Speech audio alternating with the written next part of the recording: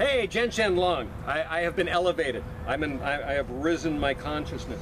I just wanted to show you real quick before I um, I'll show you the stances real quick. How to put your sash on. Chinese sash. You got to wear this every class. You're in your bedroom and you're watching my videos. Put your sash on. I'm serious, really. Get in the mood. Get in, you know, don't cheat yourself. Okay, so what you want to do is take it so that one height, one side is maybe about where your knee is, as you can see here, and one side's down to the floor. You want that kind of difference. Okay, then you come right straight here in the front like this come around like this, and then you're going to tie it over your left hip like this, and you're going to just do a square knot. Left over right, then right over left. That's it, you're done. Of course, I usually wear it on the uh, underside here, but uh, it's, as my instructor said, you know, it looks nice to wear all these sashes, but really they're just to hold your pants up. This is more for the movies.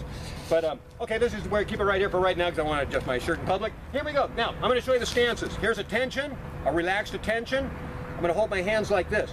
This is the bent knee attention. In other words, I'm trying not to go like this. I'm just gonna go down to here, okay? Now this is my Kung Fu elevation now. I'm right now at my Kung Fu fighting style. I'm up here on the table so you can see my feet better, I'm hoping. Okay, so now, um, as I turn, okay, so I'm here and I'm gonna step to the square horse.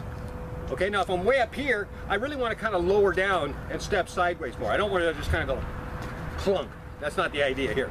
So there's proper ways to get in and out of our stances. So we bend our knees, square horse. Now from here, we're going to turn to the left forward. Now watch my feet. This is the reason I'm up here on the table, so you can see my feet.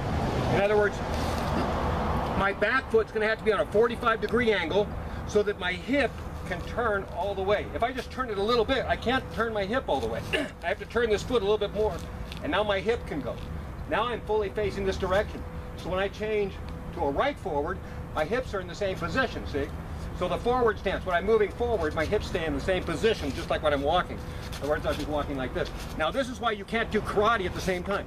Now in karate, you don't walk like this. In karate, as they explained to me, it's like railroad tracks. One foot's on this track, and the other foot's on this track.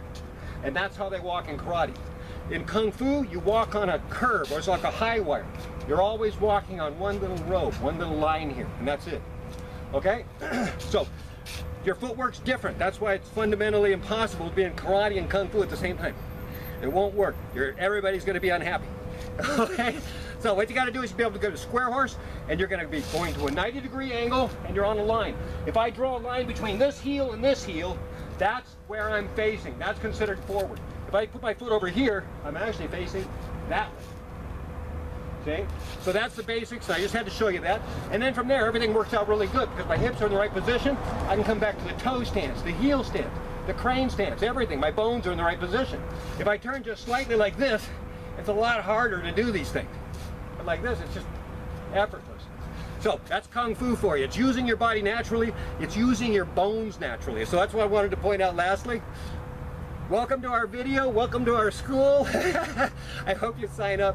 Um, I enjoy teaching and I hope you enjoy learning. Have a great life.